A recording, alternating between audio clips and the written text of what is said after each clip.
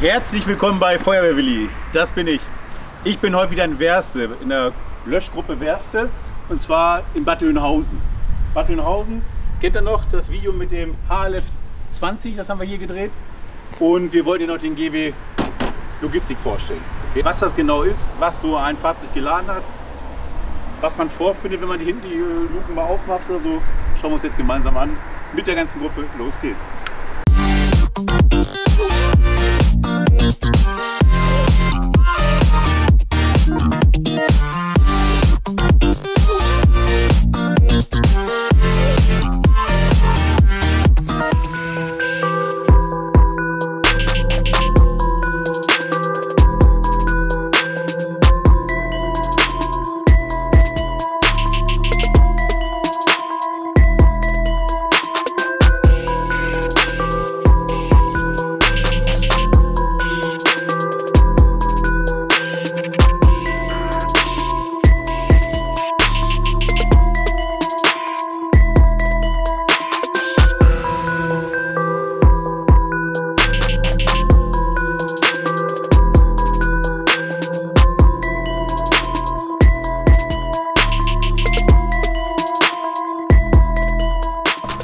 Herzlich willkommen bei Feuerwehrwilli. Nein, das bin nicht ich.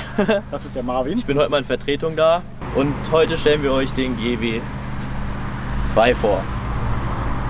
Genau. Wir äh, wollen uns heute den Gerätewagen Logistik 2 angucken.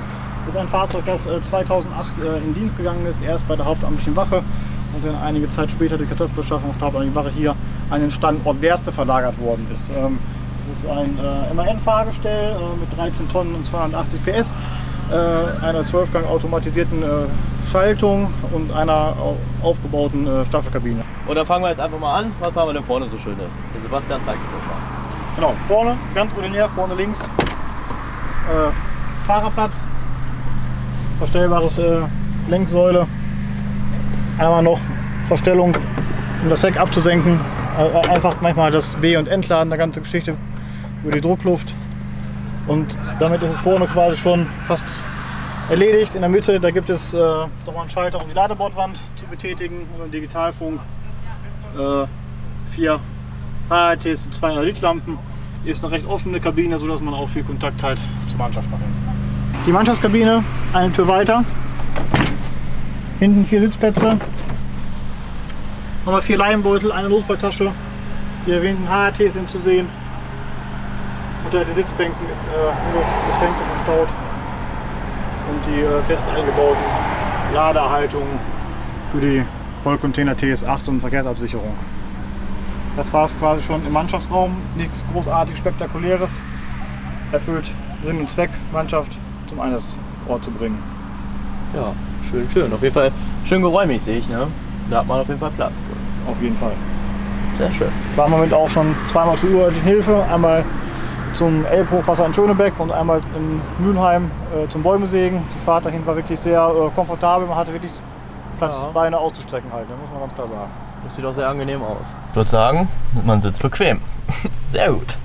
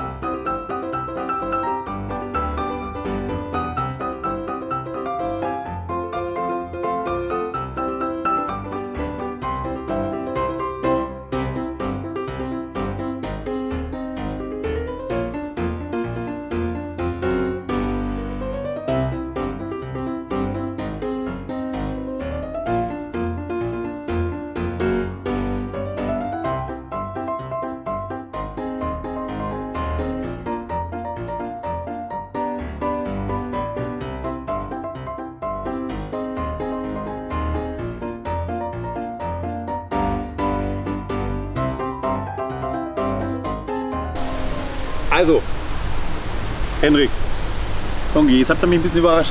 Ich dachte, ich mache hier heute mal eine ganz entspannte Fahrzeugvorstellung von so einem GW Logistik. Jetzt ist das Ding so voll. Ja, Wahnsinn, ne? Ja, selber bin ich total be- überrascht, dass hier so viel Material drauf ist. Also das ist echt ein Raumwunder. Drin hängt sogar noch eine Leiter. Was für eine? Der Multifunktionsleiter. Multifunktionsleiter, okay. Ich würde sagen, wir gucken mal drauf, was ihr, das ist ja mal Individu- Individuallösung, gibt's eine, oder gibt es eine Norm für? Für den GW Logistik gibt es an, an sich keine Norm. Da gibt es zwar eine Fahrzeugnorm für den Aufbau, ja, Ja. aber für die Bestückung, das können die Kommunen für sich dann so entscheiden, wie sie es dann halt brauchen. was sie halt meinen zu brauchen, wenn sie wenig Nachschub angefordert wird. genau. Was erstmal wichtig ist, dieses Fahrzeug ist jetzt nicht für den Erstangriff gedacht, ein GW Logistik, ist mehr so der, die zweite Welle, wenn man nämlich mehr Ausrüstung braucht, Nachschub und sowas, ne? Okay. Ähm, ich bin echt jetzt überrascht. Echt viel. Einmal vorweg noch für die ganzen Skeptiker unter uns. Ähm, die Rollwagen sind zum Teil mit einer äh, Totbahnbremse ausgerüstet. Wenn man die Bremse loslässt, dass sie stehen bleiben, teilweise nicht. Liegt aber daran, dass es halt generationsbedingt ist, dass die halt noch vor der Normung äh, beschafft worden sind, diese Rollcontainer. Ach so, sowas, okay, da gibt es eine Normung. Da Okay, gibt das es ist, eine Normung für, dass sie mittlerweile eine Totbahnbremse haben müssen. Sollen nach und nach umgerüstet werden, aber geht natürlich auch nur nach. ja, das ist ja gut, aber gut zu wissen, also musst du eine Totmannbremse haben, dass wenn du los ist, ja der Container auch Genau. anhält. Okay, das ist ja sozusagen vorgeschrieben. Und das rüsten wir nach und nach jetzt nach. Nach und nach jetzt nach. Nach und nach jetzt nach. Okay. Ja, dann gucken wir uns mal an, was so drauf ist. Ich bin ganz gespannt. Okay. Ich würde sagen, das ist jetzt hier die Mutter aller Löcher. Im Prinzip kann man das so sehen. Das sind jetzt zwei äh, CO2-Löcher mit äh, 80 Kilo. Erzähl ruhig CO2. weiter. Also äh, wie gesagt, zwei CO2-Löcher mit äh, 80 Kilo CO2 Ja. äh, als Sonderlöschmittel. Die sind permanent verladen, weil da haben wir nur eine Stelle, wo wir die ordnungsgemäß dran sichern können. Okay. Also CO2-Löcher müsst ihr darauf achten, natürlich, wenn man die einsetzt, ist die Atemluft dann äh, dementsprechend auch schlecht. Ne? Das heißt, äh, wenn man einen Raum flutet, Atemschutz vorgeschrieben. Ne? Dann denken Eigenschutz. Aber das sind natürlich echt Kravenzmänner. Nicht schlecht. Gucken wir weiter. 200, 200, 250 Kilo BC-Löschpulver. Also ich dachte am Anfang, das ist so ein Wagen von der Vatertagstour, aber da ist ja richtig was Wertvolles drin. Stickstoffflasche als Leitmittel. Also was ist das jetzt? Ein Pulverlöscher? Das ist ein Pulverlöscher. Pulverlöscher. Großer Pulverlöscher. Der 250 Kilo BC. 250 Kilo. Hasta la vista, baby. Cool. Also, warte. Also mit ABC Schnellangriff, ne?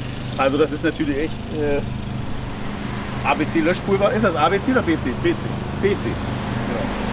Auch hier extra die Symbole an der Seite drauf. Sofort auswählen. Ah, wer klar lesen kann, ist klar ein Vorteil. BC Löschpulver äh, mit Schnellangriff, mit Haspel quasi. Geil. Äh, gut. Eine Sicherung, dass das nicht aus Versehen mal abgeht? Das sind,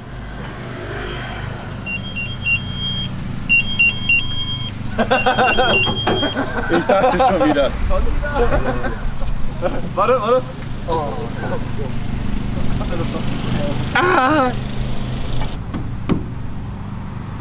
Schon mal eingesetzt? Bereitstellung. Haben ist besser als brauchen. Okay, wollen wir weiter gucken? Oh, damit es euch keiner wegnimmt oder was? Ey, geh wärst du? Äh, haben wir so gekriegt, also es wurden mehrere beschafft. Damit auch alle wissen, wo sie hingehören. Ja, hier ist unsere neue TS. Die alte hat es leider nicht mehr geschafft. Ist Eine Rosenbauer Fox. ist jetzt seit vier Wochen in Betrieb oder im Dienst. Okay. Äh, also das ist eine PFPN, ne? eine Portable, tragbare Pumpe. Und wie viel Liter macht die? PFPN was? Die 10? macht äh, 1500 Liter bei 10 Bar. PFPN 10, 1500. Genau. Also hier ist jetzt schön, die Bedienung wurde sehr einfach gestal- gestaltet. Wird einmal Starttaste gedrückt. Bisschen länger natürlich. Fährt die Pumpe hoch. Hoffe ich. Doch, sieht man. Jetzt haben wir so einen kleinen Check. Keine Daten, kein Sensor. Kein Sensor. Wenn ich jetzt sagen, die Zündung an, wenn wir jetzt nochmal drauf drücken würden, dann würde die starten. Hier die Taste zum Ansaugen für die Ansaugpumpe oder für die Entlüftungseinrichtung. Okay. Und hier die Stopptaste, um die Pumpe wieder auszuschalten. Bei der, Also. Pu- bei der Pumpe ist jetzt so ein bisschen die Besonderheit, Der Antriebsmotor ist direkt mit dem Pumpengehäuse verbunden. Das heißt, sobald der Motor läuft, läuft die Pumpe. Die kann, Ah, nicht, Pumpe- keine kann nicht Pumpe. ausgekuppelt werden, außen eingekuppelt werden. Ich bin ja mal Freund von V9, ne? Darf ich ehrlich sein? Das ist nichts für mich. Oh, die Pumpe ist gut. Die Pumpe ist gut, glaube ich. Ja, also sonst wäre es nicht auf dem Markt und das Rosenbauer ist eine gute Pumpenbau, da bin ich fest von überzeugt. Aber das ist mir zu, zu viel, wo man nicht mehr so direkt einen Eingriff hat. Also ich bin mal so ein Freund von Einkuppeln. Also man muss sagen, die Pumpe die hat auch sehr viele Extras schon, oder was heißt auch Sicherheitssachen eingebaut. Zum Beispiel hier an der Seite, ich weiß nicht, ob man das, ob man das so gut sehen kann. Und zwar ist hier ein Sicherheitsventil eingebaut. Das heißt, wenn kein Wasser abgegeben wird und sich das Wasser in der Pumpe erwärmt, Ja? öffnet das bei einer bestimmten Temperatur, Okay. Sodass halt Wasser durchströmen kann. Kaltes Wasser Okay, einströmen. das ist natürlich um die Pumpen Temperatur tot. zu. Wenn man hier Wasser drin läuft, auch kavi- ne, kavitiert und dann das, das wenn Laufrad beschädigt wird, ins Wasser kocht.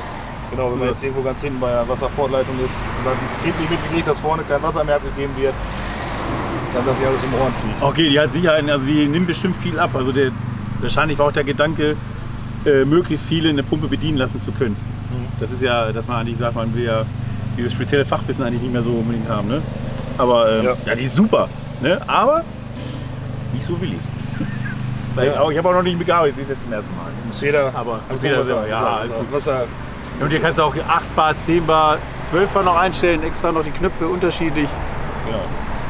Training, Competition. Junge, Junge, Junge. so ein paar extra Programme.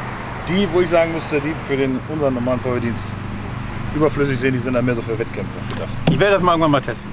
Also wir werden irgendwann mal die Pumpe bei euch mal anschmeißen. Vielleicht könnt ihr mich ja noch überzeugen, aber im ersten Moment denke ich so, hm, Ja, wie gesagt, der hat das Schöne hier auf die Druckregelautomatik. ja, genau. Also macht, macht macht viel alles. alleine. Ja. Ja, ja. Anstellen kann man das mal weggehen. Ja, aber sonst schön. Aber ey, ist ja eine schöne Pumpe. Und 1500 Liter, das ist natürlich Ja. schon nochmal einen Zacken mehr.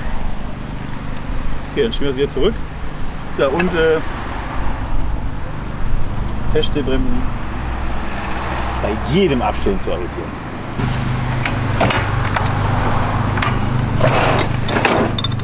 Alles, was wir für die Wasserentnahme aus dem offenen Gewässer brauchen, noch hier drin. Arbeitsleinen, Kupplungsschlüssel, Saugrohr, Klasse. Sammelstück, Druckbegrenzungsventil. Noch, noch, ich sehe noch, hier ist noch ein Kanister, Treibstoff.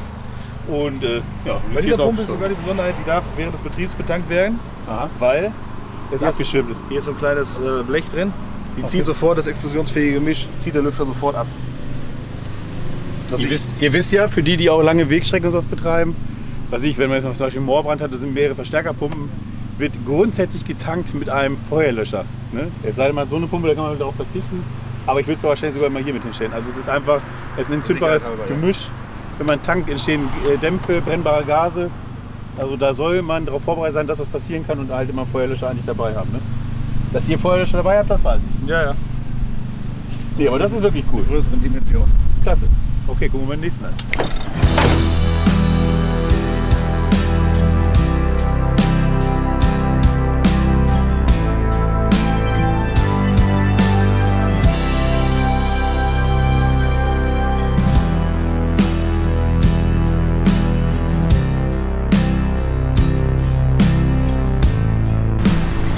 Aber bewegt sich mehr, so ein Punkt Guck mal rauf, so will ich ihn jetzt halten. Ist so gut? Schade. Weg mit dem Viech hier.